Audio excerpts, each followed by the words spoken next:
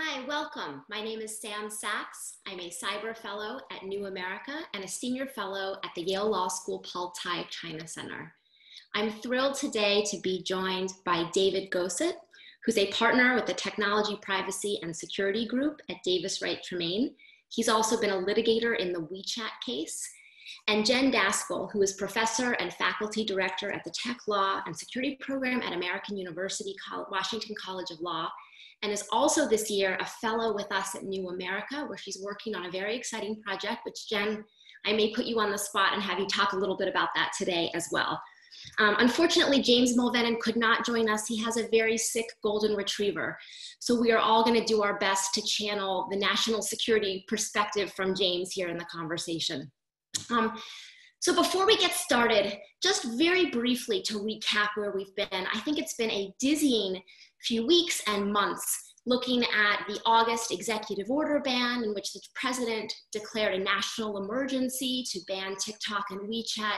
We also have an ongoing CFIUS review, which is the Committee on Foreign Investment um, in the United States investigation into the national security risks um, of the foreign acquisition piece of this deal, of, of the ByteDance acquisition of TikTok. And simultaneously, we have trickling through the system um, lawsuits, which David Gossett has been on the front lines of and can talk with us about. And I think what's at stake here is we're talking about privacy, we're talking about cybersecurity, um, free uh, speech, um, and the future of the global internet, not to mention US China relations and tech competition among two great powers. So let's get started, and I want to turn it over to David first. David, get us up to speed on where we are with the lawsuits, um, both WeChat and TikTok. And I will say, although we are talking about TikTok and WeChat as a package today, these also are very distinct sets of issues. Um, and we'll do our best as well to be specific about what's at play in each of these distinct sort of landscapes as well. But David, let's kick us off and get us up to speed on how to think about what the lawsuits mean, what comes next. Delighted to, and thank you so much for uh, inviting me to uh, join you today. Um, as Samm said, uh, on uh, August 6th, the president issued these two executive orders, one um, banning uh, in sort of not entirely well-defined terms uh, TikTok, one banning in not entirely well-defined terms, but more or less identical to the other one, WeChat. One, one slight correction I'll make to what Samm said is these didn't declare a national emergency. These both were issued um, uh, pursuant to the national emergency uh, the president declared back in May 2019 um, on the ICTS supply chain, the, the information and, and, communications technology and services supply chain. He declared that national emergency uh, 14 months before, and most of the discussion had after that declaration been about Huawei and other companies that deal with internet backbone technology, and we can get into that. But in any event, um, fast forward to August uh, 2020, and he says, I'm banning TikTok and WeChat. Uh, and we'll get into various reasons he might or might not have done that. Uh, in those um, two executive orders, he said these take effect in 45 days, September 20th.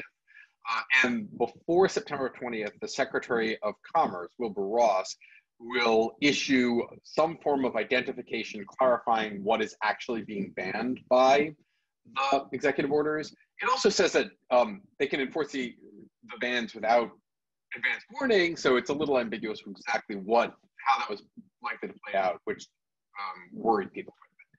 In any event, uh, this happened back in August, and you, the, the companies and users of these apps got quite worried. Uh, and in, in fact, there are at this point four separate lawsuits that I'm going to briefly note.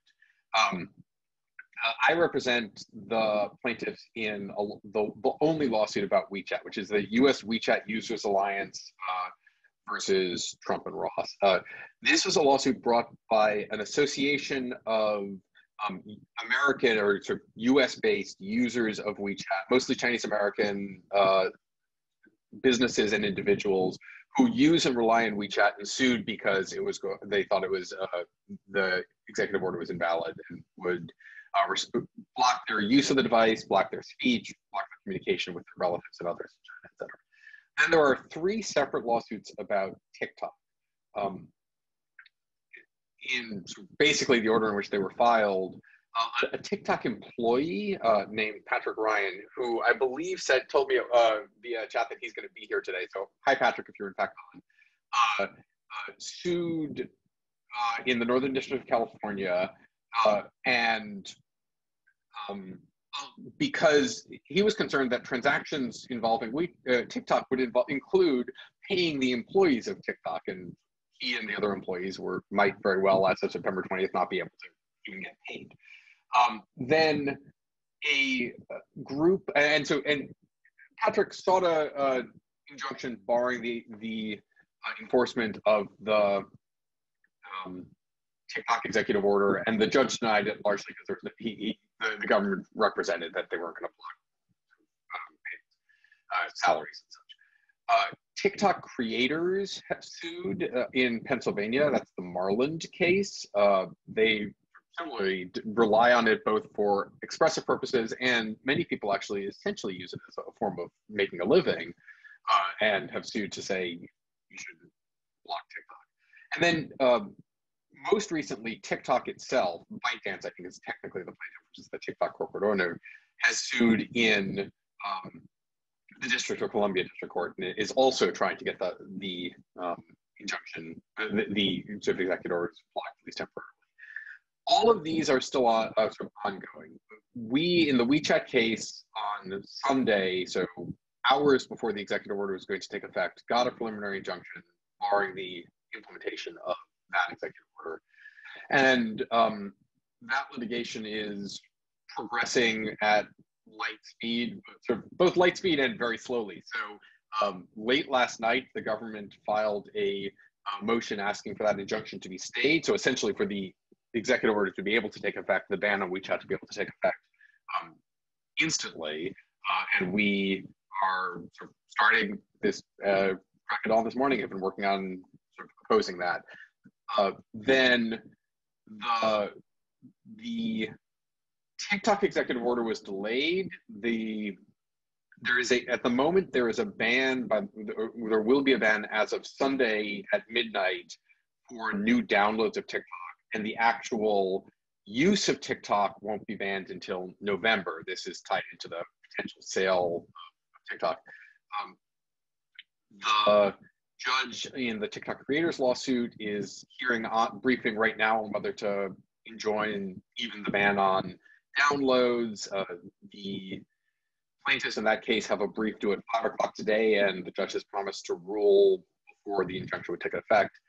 Uh, similarly, in the, the newest lawsuit, the TikTok own lawsuit, uh, Judge Nichols here in DC has ordered the government by 2.30 today either to oppose the uh, injunction uh, or to extend the ban on new downloads of TikTok so that he can they can take more time to, to discuss whether or not that's So that's a, a quick summary of, of the procedural posture. Basically, right now nothing is banned. TikTok could be banned. Uh, downloads of TikTok could be banned as of Sunday. Um, everything else depends on judges, at least until November. Got it. I mean, one of the hottest topics of conversation, I think, has been around know, or do existing users, and for WeChat and, and TikTok, what happens with existing users if you already have it on your phone? Is this just going to, uh, is this just going to impact software updates?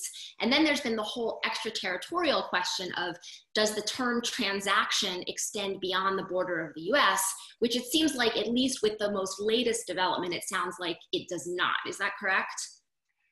Yeah, so there are a couple of questions in there. So uh, let's put aside new downloads of the app or updates to the app because those clearly are banned. Then there, there as you say what, what is actually banned by the the uh, under the secretary of commerce's identifications as they, they keep calling them uh, is essentially corporate transactions with uh, Tencent and ByteDance, with the, the owners of WeChat and TikTok. So um, internet service providers aren't allowed to do business with these companies. Content distribution networks aren't allowed to do business with these with these companies. Um, various other technical aspects of contracting to keep the app running smoothly are banned. Um, and as you say, there is a real dispute, a, a real sort of unknown as to whether the what that will mean is that if those bans were to take effect, the app would work less less well, things would be slowed down, um, some content might not go through smoothly, things like that, or if it would actually just be a it's shut down. Um, you you can't actually access WeChat as soon as this takes effect because they can't have uh, internet backbone services and things like that. And frankly, I, we still don't know. Uh, um, the the government has, in a couple of recent filings, including this one last night, said uh, it would be the latter. It would just make things work less well and eventually drive these services out of business. Um, the, the judge in our lawsuit over the weekend, when we had a hearing on Friday, uh, Saturday, uh, discounted those sorts of assertions, which they made then too, because Secretary Ross was quoted on Fox Business News as saying, um, WeChat will be completely shut down as of Monday. And so they essentially took that as an admission by the government that it would be shut down. I, I think the answer, and I, I, am not the technical engineer who really can answer the question fully, but my sense from talking to people is the answer is somewhere in between the two. These services are pretty critical to a lot of the functionality of these apps. And so um, things would work really badly and some things might just stop. But I don't think it's the case that the the app would uh, you, you would open up the app and it just wouldn't open if you already had it on your phone. Got it. So this is really the lay of the land from I think the legal perspective of what is at stake right now. I want to turn to Jen, and Jen and I have had extensive conversations um, about what appears to be a sort of muddying of privacy, data security, and national security. Um, not to mention the whole layer of a US China tech conflict. So, Jen, can you help us sort through how do we think about these very distinct but increasingly blurred issues at stake and what are the risks? Um, great, thanks. Thanks, Samm, um, and thanks, um, thanks, David, as well for this great conversation. Um, before I get there, I just want to add in one additional layer of complication to add on to the to the litigation issue, which is this question of the potential sale and all the back and forth that's gone on with that. So um, that's another layer of complexity that, um, with respect to TikTok, again, as, as Samm, as you rightly pointed out at the beginning, there, um, although we're talking about both lawsuits, they raise a whole set of separate equities, legal issues, and also policy issues as well. Uh, but with respect to TikTok, um, there was, um, for one thing, there's been a number of shifting deadlines as to when any sort of ban would go into effect, which has been caught up with this idea that some of this could be dealt with, with via a sale. Um, this was first um, kind of came to the attention of um, of the American people when um, President Trump announced that he would approve a sale of a very American company um, to to purchase um, TikTok, and for a while it was presumed that would be Microsoft. Um, that has um, apparently fallen through, and President Trump has has stated that he will approve a sale involving a combination of Oracle and Walmart. Although we don't know all the details about um, what that will look like. It looks like it's actually. Um, I should say. I should. I should um, be clear. It's not actually an outright sale, but it would be a transaction pursuant to which Oracle and Walmart would take part ownership and a minority ownership, according to at least what's been reported of TikTok, approximately 20%. Um, and so a significant amount of the company would still be owned by Chinese interests. Um, so, um, and another piece of this is that um, Oracle and Walmart officials have also said that they would pay um, $5 billion um, to the United States or to support some sort of US based program in, that also kind of falls from President Trump's claim that he was going to demand a tax for this sale, which is a pretty unprecedented um, situation. But that's another piece of this. That's, that's a moving piece of the puzzle. And that transaction, that sale, that shift of ownership will also then go back into the CFIUS process, which also um, will, will have to review whether or not this transaction satisfies the national security concerns that were raised by the CFIUS process as well. So we've got the litigation, we've got the potential sale, and they all kind of merge together as part of the background. Now, to turn to your question, which was about the national security data privacy, data security issues, I, mean, I think one of the things that we're seeing here is um, obviously Um, this, these, these bans were announced on the 6th of August pursuant to IEEPA. Um, and IEEPA requires a finding that there's been an unusual and extraordinary threat to the national security, foreign policy, or economy of the United States. And here, with respect to both the TikTok and the WeChat bans, the national security threat that the president announced were both surveillance concerns and also censorship concerns. And here I think it's very important to kind of unpack what exactly those concerns are. So here, when we're talking about TikTok and WeChat, we're talking about communication tools um, that kind of sit at the kind of highest level of the internet stack. It's a very different situation than when we were dealing with, for example, Huawei, which was in the news a lot over the last few years and in connection with the ban on Huawei. And then you're talking about a company that has access to the infrastructure, to the network. And in that situation, there are, at least in my view, very significant surveillance concerns um, about um, being able to access information that flows basically anywhere across the network. When you get to TikTok and WeChat, um, it's a different set of concerns. It's about collecting surveillance of personal communications. And here, um, and then I'll, I'll stop because we, we can hopefully come back to this. I think there is a, it's important to kind of parse out the different security concerns. There's one set of concerns about getting access to communications about government business, um, of government officials, of people talking about official business. There's a separate set of concerns, which I would argue are more removed from the core national security interests of getting access to communications of Chinese Americans talking to their parents or their grandparents in China, or teenagers talking to one another um, on a TikTok app. And I think it's very important as we think through these issues that we disentangle what specific national security concerns we are talking about and when and in what circumstances those are concerns about access to core national security secrets, when they're access about concerns about access to our critical infrastructure, and when they are merging more with kind of general data privacy concerns. And if that's where we're going with our understanding of national security, what are the kind of really big, broad implications, and does national security then effectively swallow everything? Yeah, can, can I add? I, I, agree entirely with what Jen just said. Um, and in fact, uh, it's interesting because the evidence that the government put forth in the WeChat case to date, and they, they threw some new evidence in last night, and I'm not yet able to really to even describe that, but we'll get it once I focus on it. But before that, a lot of the evidence they used was about things like Huawei and, and infrastructure. And then when they they had a little, um, a couple of reports they cited about the security risks of WeChat, uh, and the suggestions of those people were things like ban the use on government phones.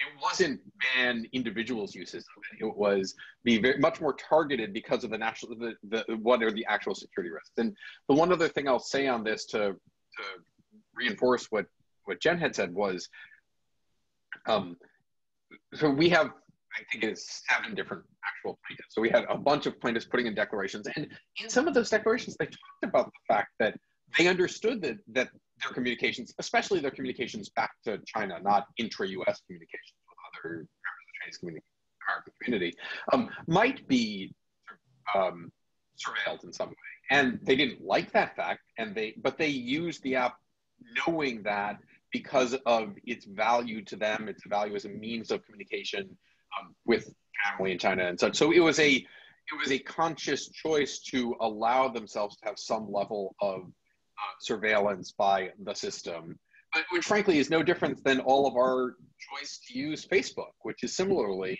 heavily surveilled by the company and subject to all sorts of surveillance requests by the U.S. and state governments and foreign governments. So I'm going to put on my James Mulvenon hat and also my former working with the national security community hat to really dig deeper into you know what's at stake here. Um, and I think the comparison between WeChat and Facebook doesn't entirely hold up. Um, if we think about WeChat is known to be, uh, you know, a sort of constant real-time monitoring by Chinese authorities. Um, and if there are data requests made on WeChat, um, there are no real meaningful avenues for contestation in a rule by law country.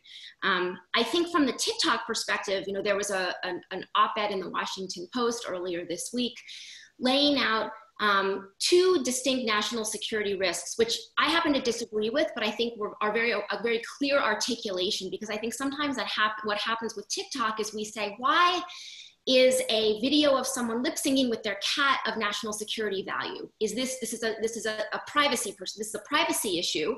Um, and if someone wants to monetize that, if this is, has a, because we know that TikTok has a very powerful algorithm um, and can get users hooked on the app um, to spend more time on the app. So more data is funneled in and then with that powerful algorithm um, the company can then seed content which can manipulate behavior. Um, and what this washington post article identified were two risks. One is that algorithm you know, the better it gets, the more data that's fueled into that algorithm and it gets more refined. What's to say that in China's military civil fusion system, that algorithm is not going to get better at targeting a missile? It's the idea of more users, let's fire a missile. Um, number two is the idea of you know, if we know that, if I think one of the murky issues around TikTok, and this is separate, I think, from the data security issue, but one of the more murky issues around TikTok has been you know, what is the way in which that algorithm boosts certain content um, over others. And we know that there have been cases, for, for, example, around, you know, there was a user who was curling her eyelashes while talking about Xinjiang. And then her account was sort of mysteriously deactivated, apparently according to a technical glitch. Um, I think now in this environment, it would be very hard for TikTok to remove content about Xinjiang, right? But we do know that there's some murkiness around what kind of content is coming out and the degree of influence that the Chinese government may or may not have with that algorithm. Um, my view of what's wrong with those two national security arguments, and then would love to hear your, your perspective, is the algorithm is powerful as a tool of boosting content and seeding content, which is a totally distinct set of issues for let's target a missile for an autonomous you know, weapon system. Um, it's quite far-fetched, and I think there's an exaggeration around the extent to which the military-civil fusion um, is so pervasive and effective within the Chinese bureaucracy. James may have uh, may have some, you know, may just challenge me on that perspective, but that's my view. Um, and on the second one around, you know, are we that fragile as a system that we are, are the US government is going to crumble because of Chinese communist propaganda? You know, I, I think given I, think your average TikTok user, if they were fed Chinese communist propaganda, would probably just delete the app. I mean, the whole point is to feed people things that they actually want to see to get them hooked.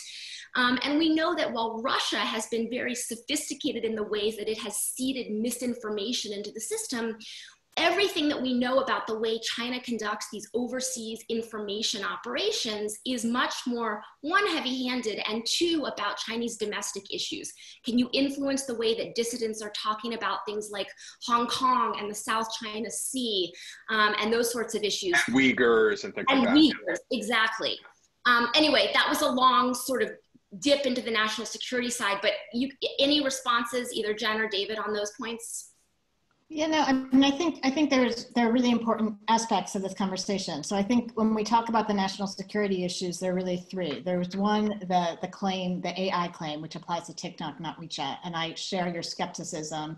And again, I'm not I am not um, a a technol I'm I'm not a tech expert. I'm not a technologist, but having spoken to many people who work in AI, I think there's, um, I, I've been told that my skepticism about this idea that just because you get access to data and just because you have developed an AI tool in one context necessarily translates to a different context is that, that your, your skepticism is apt, that it's very, it's very real. And so I share your, your skepticism about the AI point. The second one is the surveillance issue. And then again, to go back, I mean, I think we have to distinguish who's being surveyed and for what purposes.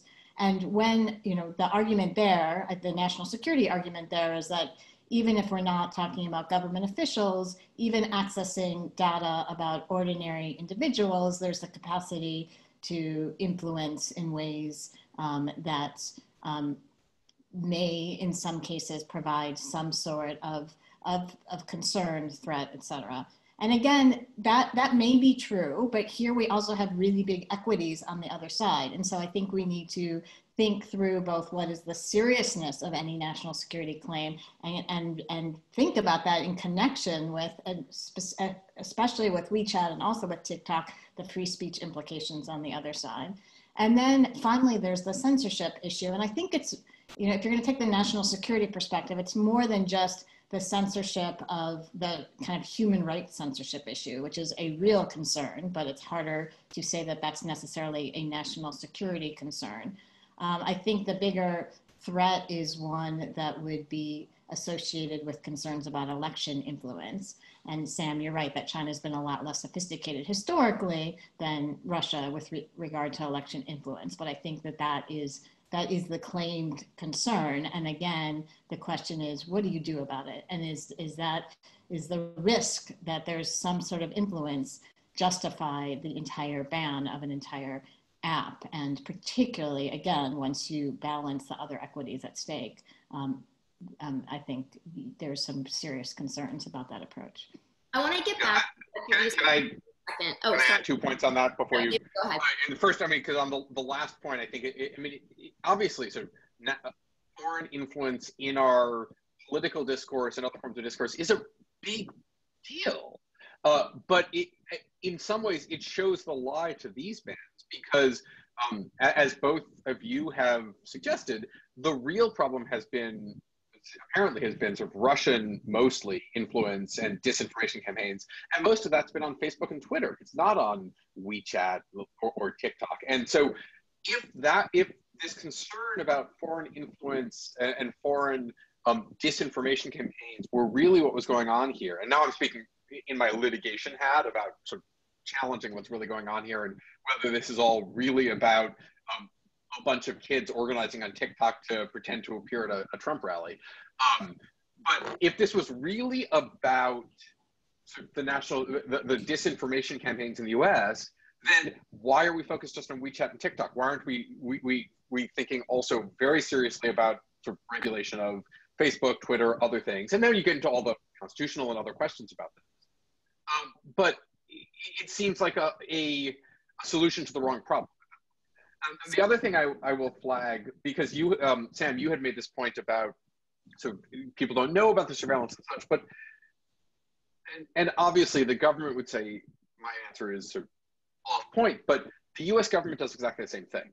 I mean, the US government routinely brings subpoenas to cloud providers and um, sort of other internet service providers for material about uh, individuals with uh, under uh, theories and under statutes which doesn't require any notice to those people. So yes, China is, the US government would say, but we're concerned about the foreign interference in our case, but, but we do the same thing. So it's a little hard to push that. I mean, I think there's just no way possibly to compare law enforcement access to data in China with law enforcement access to data in the US system. I mean, Jen, can you help us? What is, how should we think about these, you know, what is the process by which so that, how does that work in the US? Is David's point fair that that is that an accurate comparison?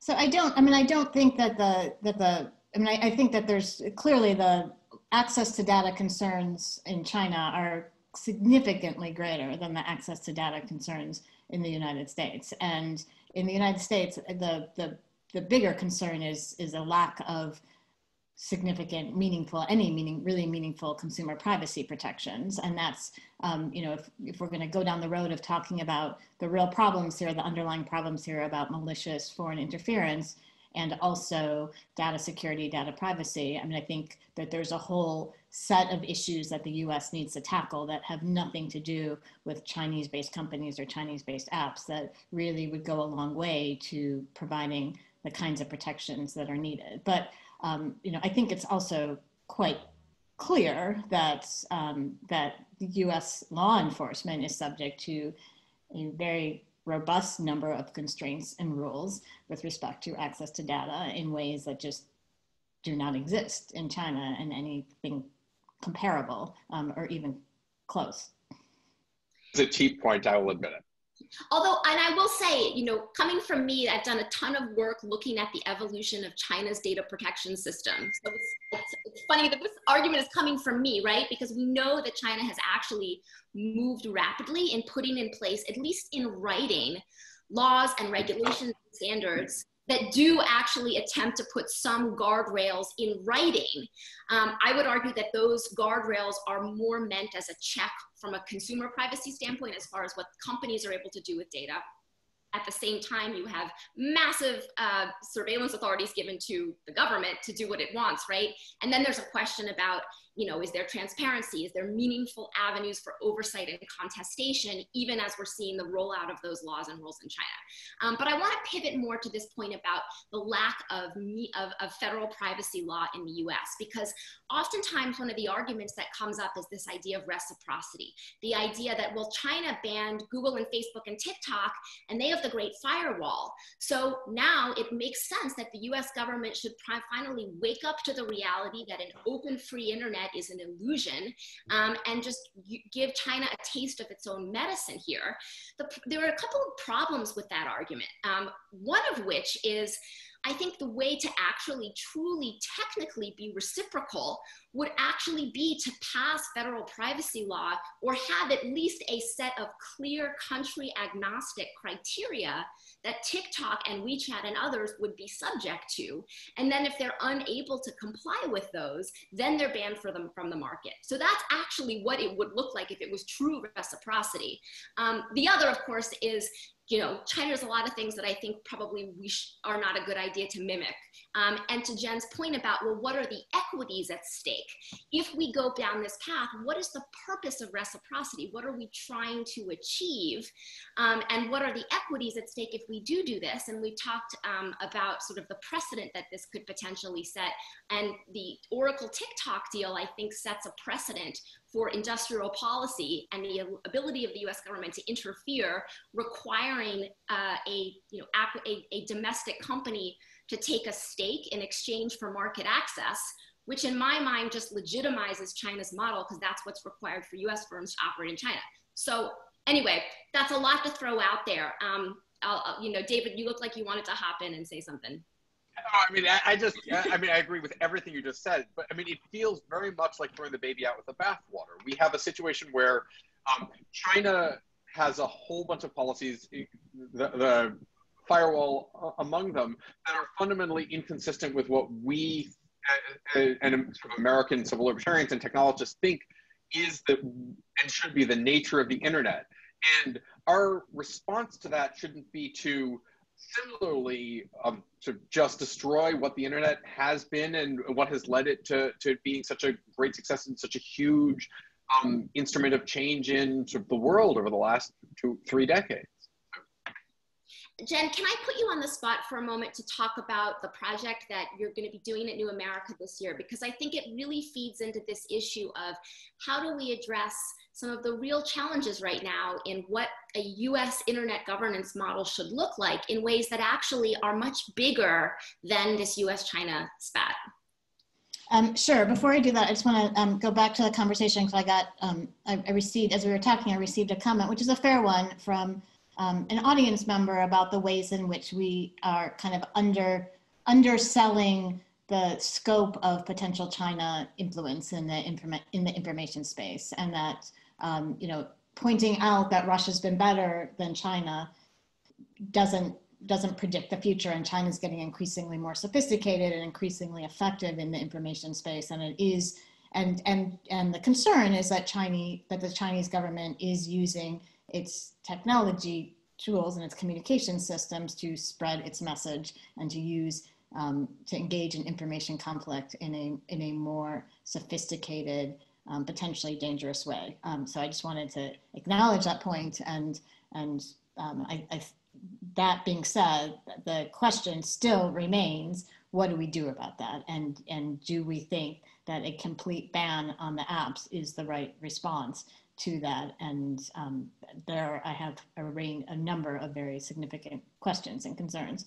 Uh, but going back to your initial question about um, what my project is, it's, uh, it's exactly that. It's looking at the ways in which, um, you know, we have, um, you know, it was it was just a little over a decade, or coming in on 11 years, that um, then Secretary of State Hillary Clinton gave her kind of famous free and open internet agenda speech in the new museum here in Washington D.C., where where I am currently, and kind of promised this very utopian world of which in which the internet would connect us all and we would be free and open and and and the best voices would be lifted up and contrasted that with the authoritarian model which in which there was an assumption that the authoritarian model um, was was obviously wrong normatively but also would lead to slow and poor economic growth and was on the demise while the free and open internet agenda was on the rise and what we've seen in the last decade is just this enormous amount of harms that are being perpetuated online from all kinds of sources.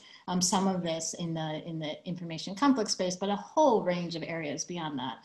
And in the course of responding to that, we in the United States, across the world, we are increasingly adopting tools, techniques, practices that were once kind of condemned and associated with authoritarian regimes.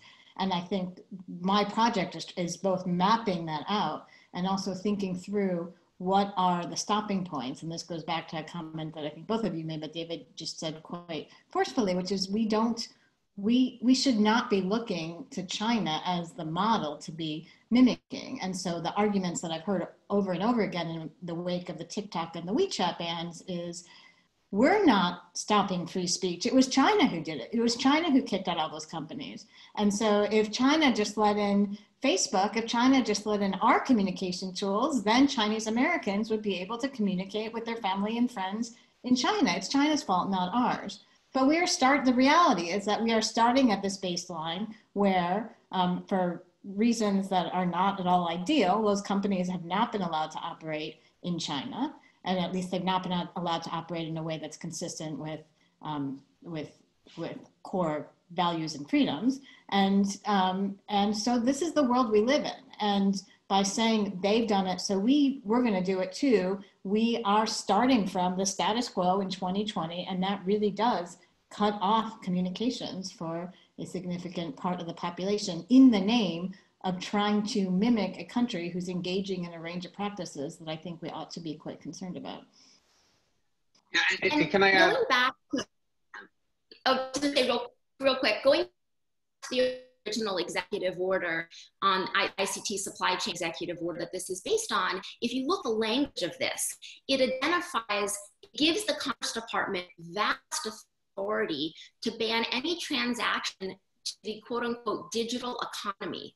What does that actually mean? And I think that is why what Jen is talking about, why this this is a tool that once you know unleashed, I think has far more um, potentially destructive ramifications than maybe even the leaders of that anticipated. Go ahead.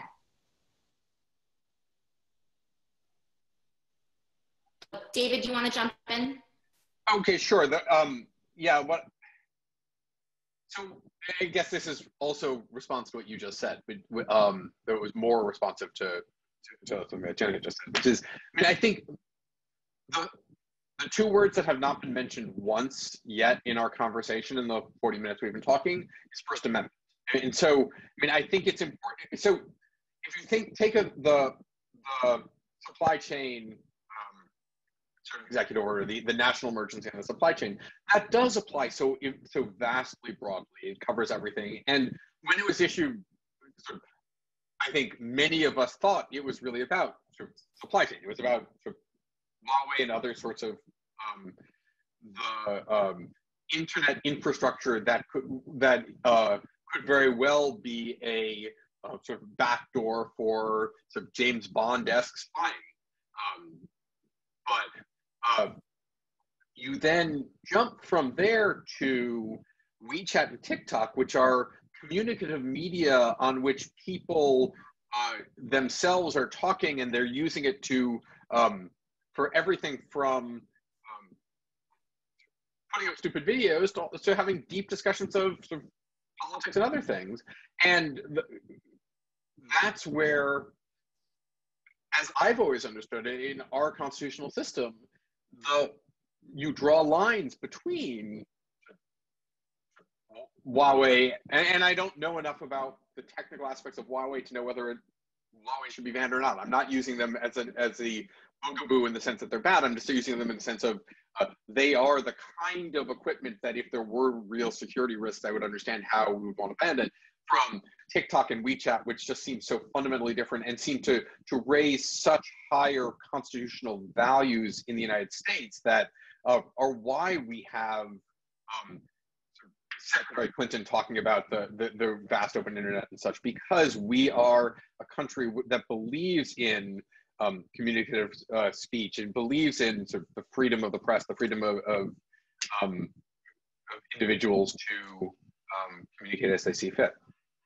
So if we want to go back to this question of how do we address these legitimate concerns in a smart way, in a way that's consistent with the the openness of the, the US, an open US internet open an, an open and free internet that the US government has long lobbied for.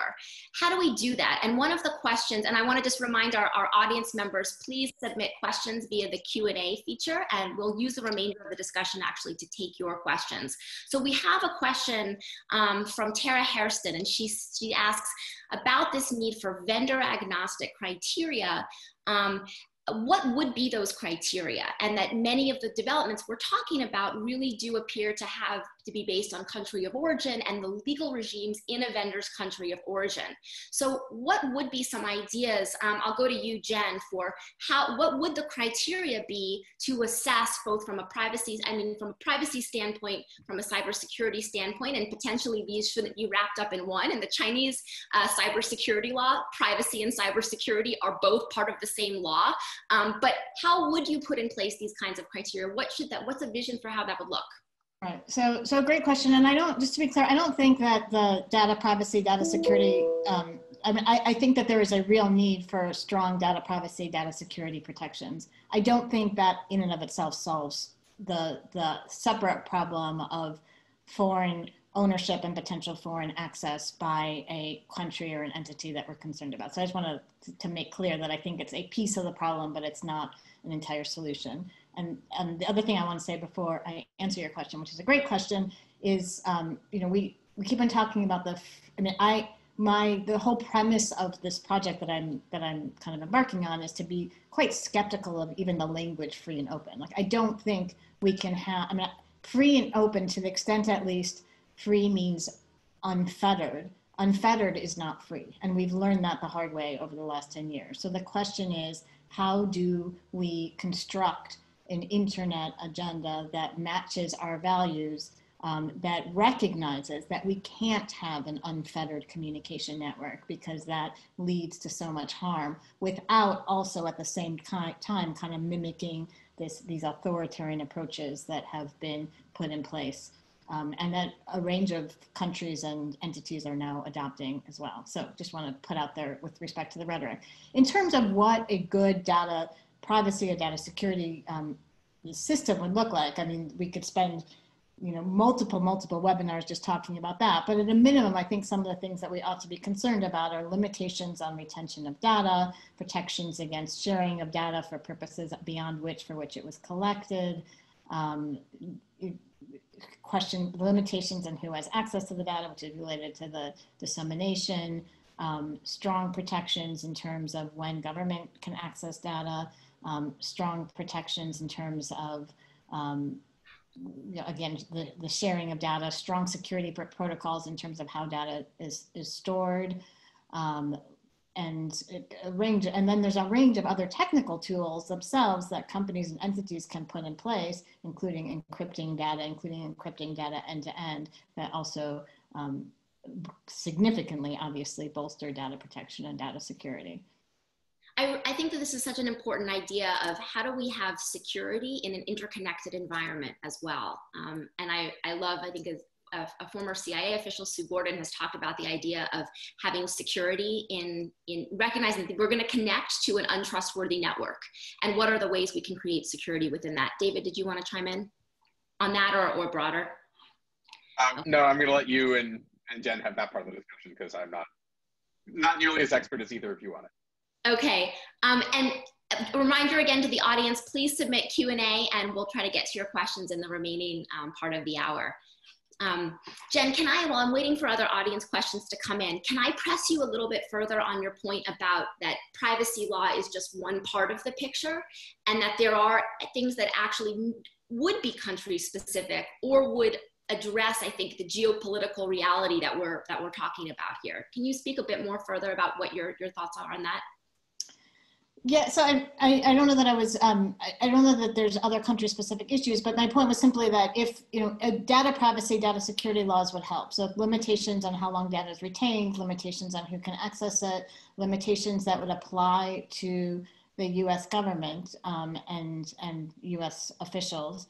Um, the, the, the issue is, and this gets into the, the question about extraterritoriality and in what circumstances these rules apply um, extraterritorially and whether and to what extent it's appropriate to put in bans on transfers of data. So the rules would apply clearly if there were a strong data protection regime in the United States that would set limits on retention, sharing, data storage within the United States. It doesn't necessarily, depending on how the rules are set up, it doesn't necessarily protect against foreign governments also themselves accessing data, um, particularly if data is moved um, either overtly or, or surreptitiously across borders.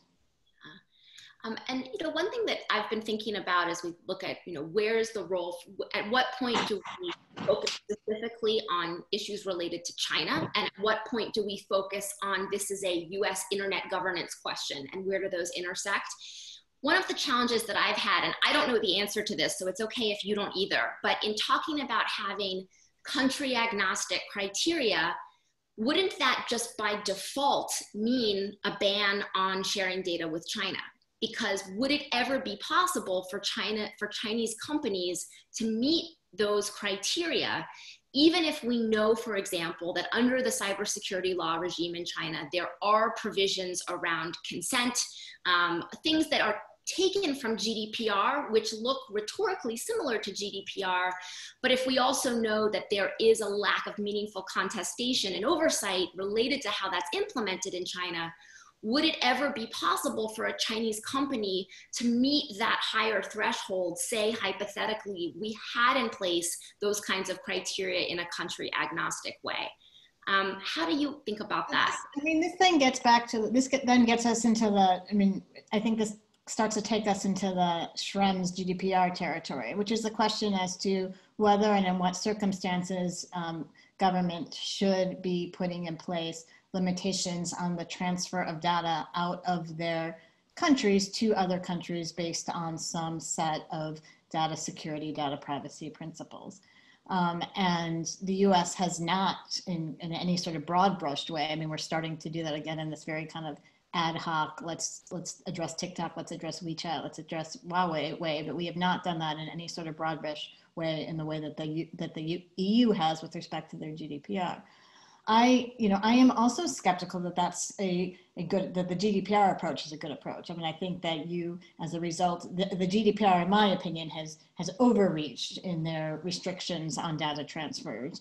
And if countries around the world started adopting that approach, we are in a world where um, any company that wants to operate internationally basically has to build a server in every single part of the world and store data locally and it becomes incredibly hard to do a whole range of like ordinary business functions like move around hr data for example is just a very simple example. So um, you know this, this set of issues is, is incredibly complicated and the question as to whether and in what circumstances it's appropriate to place limitations on the movement of data either outside of borders kind of writ large or to specific countries i think requires a lot more thought and and discussion.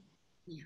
Yeah and uh, and on this uh, i mean just to, to bring it a little closer back to sort of wechat tiktok i think it's also um, it's worth thinking through carefully what data you're talking about. So for for in these cases where the interest is is, is has been described as national security, um, you have to you have to think about what data is actually a national security risk rather than a risk of personal personal privacy, personal data intervention. And so um, this is why the Australian um, institute on which the government has relied repeatedly to defend these uh, these particular bans has suggested much more targeted um, bars on government use and sort of government employee use and things like that to ensure that any data that leaks through um, WeChat or, or is surveilled through WeChat and, and TikTok is um, not as, as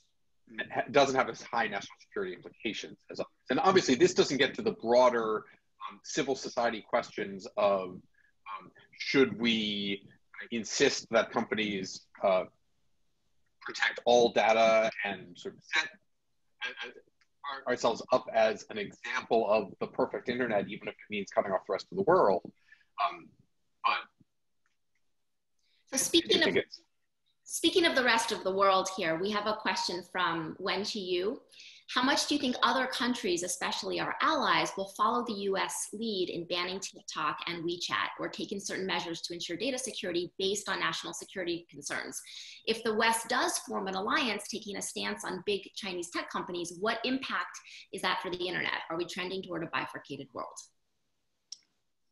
So um, I think yes, we're trending towards a bifurcated world. I think you know even where where in the Huawei ban, the U.S. was not particularly has not been successful in getting all of its friends and allies to to kind of follow suit with that. And there, the national security case is um, a lot stronger. I mean, it's very strong with the Huawei ban. So, so, so I, you know, whether or not the U.S. at this particular moment would be successful in getting everyone to kind of follow suit um, I, I, have serious questions about. But I actually think one of the bigger questions that this kind of approach takes, and this is one of the, the real concerns with saying, well, China did it, so we should do it too, is that it, it does normalize this idea that you kick out an app or you kick out some sort of communication tool based on who what foreign ownership and you know, there's lots of places around the world where the United States is not particularly popular.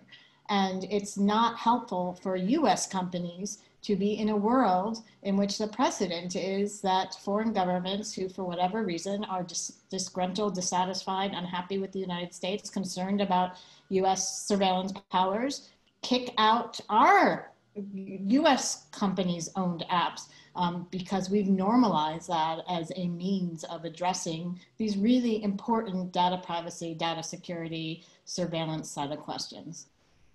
Yeah, I think that's precisely right. I mean, uh, I mean, the example from a few years ago that I've uh, I always paid attention to is, I mean, Turkey blocked uh, Wikipedia, or, and, and, on it because there was too much stuff that the, the government of Turkey didn't like.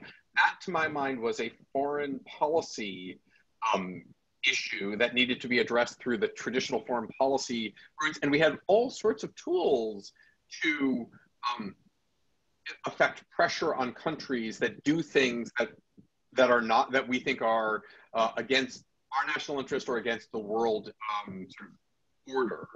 But the answer wouldn't be to um, say, okay, you're going to block Wikipedia. We're going to block. We're not going to let any American company sort of do any business with with Turkey. That's just that it, it's not the appropriate response. And, and, so, so to here, I think this is essentially what Jen just, just said. I mean, using um, as a response a means that just continues to um, create sort of a hybridized, bastardized internet around the world with without the its traditional sort of openness just makes the problem worse.